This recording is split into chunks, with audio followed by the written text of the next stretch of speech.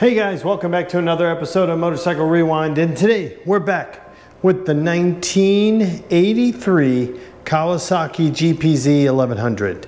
And more importantly, we're going to figure out why the Speedo doesn't work. So for those of you who watched the, the video of us taking this 1983 Kawasaki on a 3,000 mile road trip, you will notice that this Speedo did not work. And I got lots of comments of you fixed everything, but you didn't fix the Speedo. And the reason why we, we didn't fix this Speedo is because I didn't realize it was broken until three days before we left. Actually, the Saturday, first time I rode this bike was the Saturday before we left, and then we left Tuesday morning. Last minute, Monday night, we were leaving Tuesday morning. I had this Speedo here, and it was on the Kawasaki W1. I went ahead and took it off, plugged it in, knew it worked, knew it was a working Speedo, and then we went from there. Just start by snipping off these. I'm gonna get this guy off, then we're gonna pull the other Speedo off and see if we can figure out why it's not working. There we go, looks like we may have solved it. Good job. Speedo is out. And basically on the trip, guys, once I figured out what, um, let's say, the RPMs match the Speedo here, I basically just looked at the RPM gauge the whole time because I spent most of my time on the highway. So I knew that about 4,500 RPMs, 5,000 RPMs was gonna put me around 70, 75 miles an hour. That's kind of where I stayed. So let's pull that, let's pull this Speedo off and see what's up. Looks like we're just about there. Good job. Save those. The good thing about this dashboard, it gives you a handy dandy place to store your hardware. The Saturday it didn't work. I didn't have time to diagnose it to see what was up, so I just had time to come up with a solution. Let's go ahead and plug this thing back in and see if we can figure out what was wrong with it.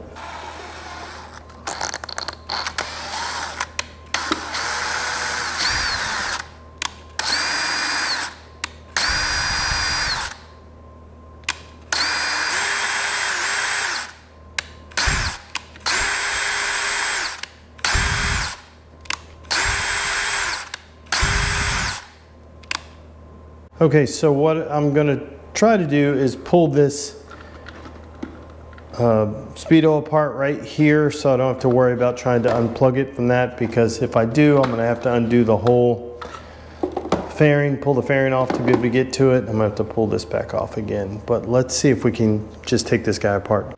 Okay guys, got the last screw here. See if we can get this guy off.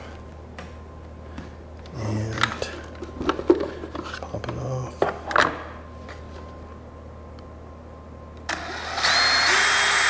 There we go. See, but it doesn't return.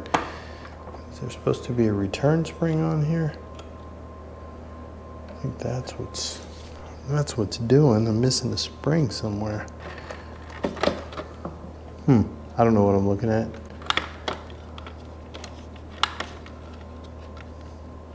Hmm. Let me do some research to see if I can pull this guy apart to figure out why it's not returning speedo, not returning to zero. That's what I need to figure out. Let me do some research. I'll be back with you guys in just a moment. Okay, we're gonna take off this speedo drive gear here on the back of this guy and see if if we have maybe just a maybe we're gummed up in there and that's why it's reading bad and that's why it's not returning to zero. It's got to be something. So let's see if we can get some of this apart and see what we have. Oh shit, I'm gonna need that. Okay, found it. And then this other one. Okay, let's see what's what. Yeah, it could be. It looks like there's some crud in there.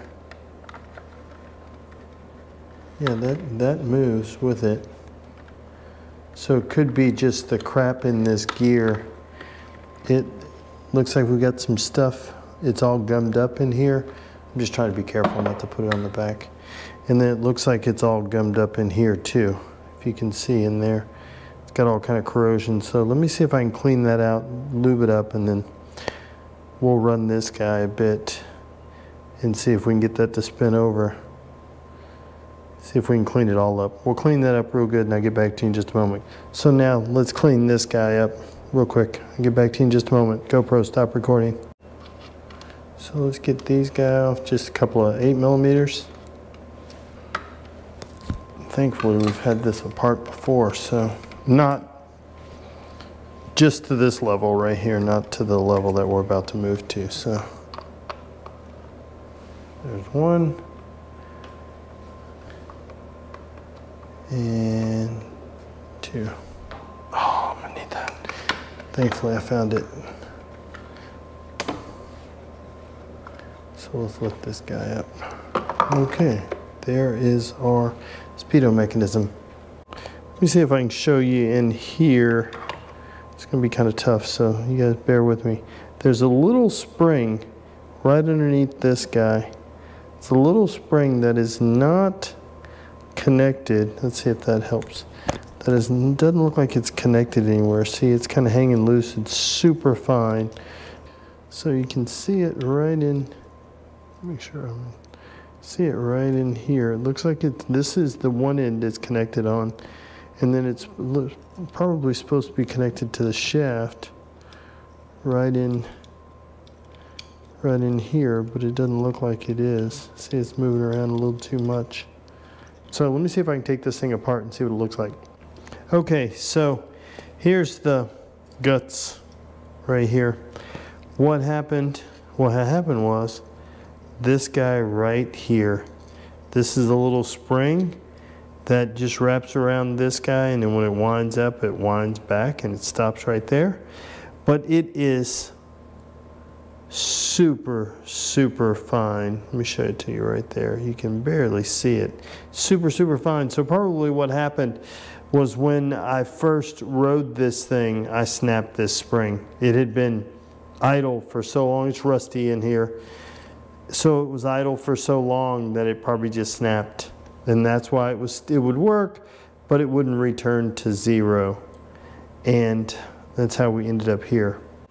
Okay, guys, so we uh, we solved our speedo challenge. Well, we haven't fixed it, but we know what's wrong with it. So now I get to search online on eBay and see if I can find a set of gauges. That I can put on. And I'm gonna, my gauge housing, the housing, the, the lens, the bezel and all that are in really great shape. So I'm just gonna find one that has a functioning speedo.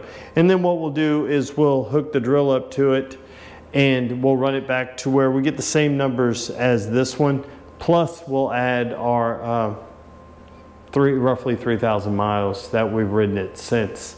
So we'll try to keep it so we have a, an accurate assessment of, of what we think the miles to be to the best of our knowledge.